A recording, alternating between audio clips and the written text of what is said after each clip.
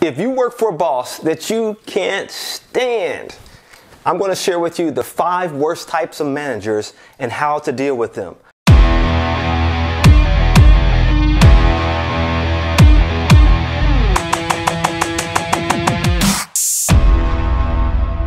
Number one is the bad pilot. It's that senior level manager who should be operating at the 30,000 foot level. However, they fly their plane so low to the ground. It's almost like their plane is an automobile and they get their wings of authority in your way. They're all in your business, trying to take control, trying to micromanage. It's difficult when you know you have things under control. So, cue number one here's what you should not do don't tell them to get out of your way. Don't tell them to go do something else. Convince them that you have everything under control because their issue is their own insecurity. And they're projecting that onto you, hoping to see something that will validate that insecurity, and that leads them to micromanage. So here's how you counteract that. You execute with excellence. Report the results of your efforts. Show that, hey, you have everything under control, and then you have to use a little bit of psychology on them. Thank them for their collaboration, their participation, their encouragement, which is a nice way of saying, go fly your plane back at that high altitude. We're fine down here on the ground. Number two, oh, I can't stand this one. It's the Dr. Jekyll and Mr. Hyde. Those managers whose mood keeps changing, just like the fictional character. One day he's Dr. Jekyll, he's in a good, decent mood. The other day he's Mr. Hyde. You don't know who he is. He's always shifting his mood. No one wants to work in an emotionally toxic environment. So here's what you have to do. Here's my cue for you. Expect the worst.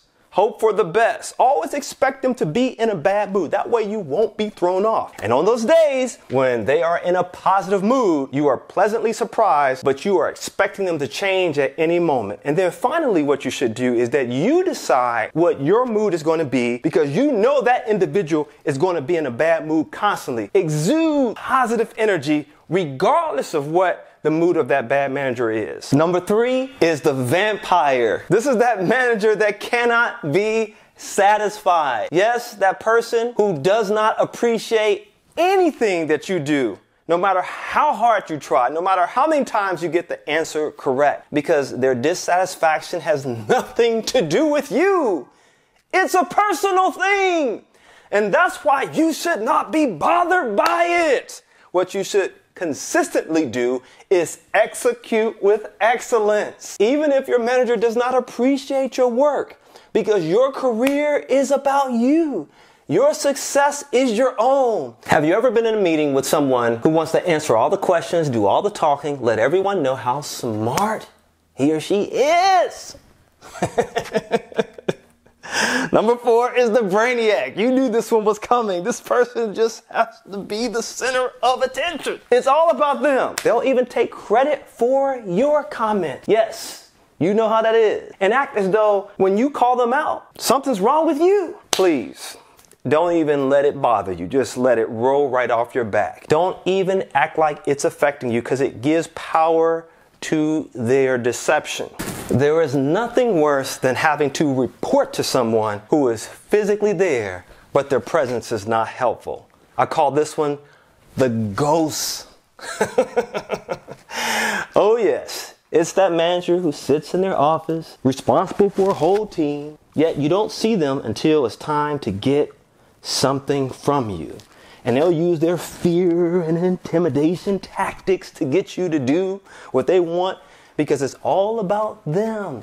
They don't care about your personal success, they don't care about your career. So you shouldn't be afraid of them, and you shouldn't be surprised when you need their help and they can't be found. But here's what you need to do. You need to be a ghostbuster. Be a solid performer. Be positive. Create the right atmosphere. Don't be combative. Don't get angry. Don't get upset. Be a collaborator. In other words, be the opposite of them. Be present and available, willing to solve problems, inspire others, and that's how you be a ghostbuster. Listen, take your cues from me and live a great life. Nexcue.